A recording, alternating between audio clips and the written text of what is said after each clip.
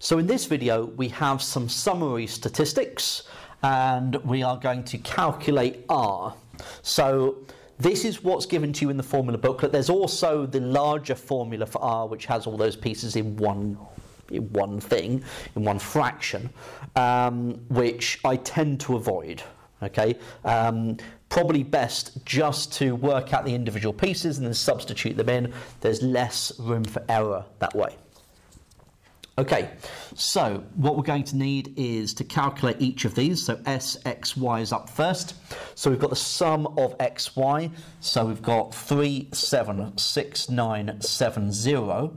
Take away the sum of X, so 2, 3, 3, 5, times by the sum of Y, 2, 4, 3, 9, divided by N, which is 20.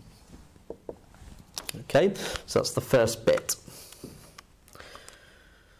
So uh, 376970 take away uh, 2335 times 2439 over 20.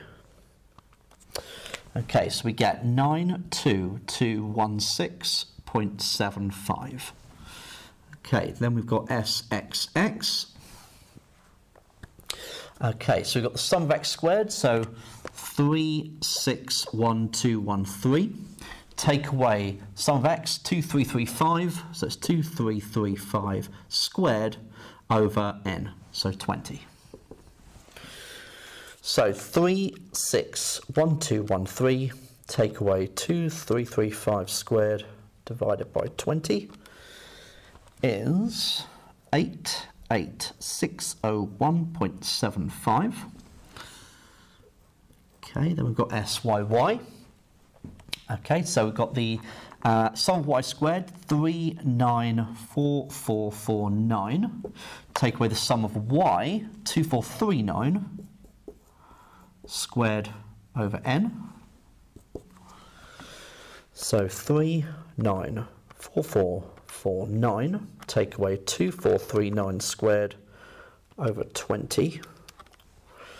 So 97012.95.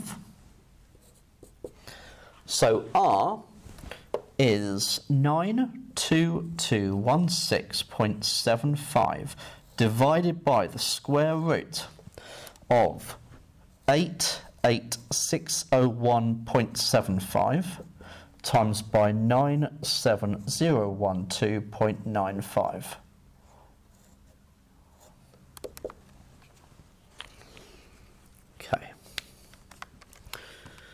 So 92216.75 divided by the square root of 88,601.75 times 97012.95. And we get 0.9947 to four decimal places. So in this case, uh, that's showing you very strong positive correlation.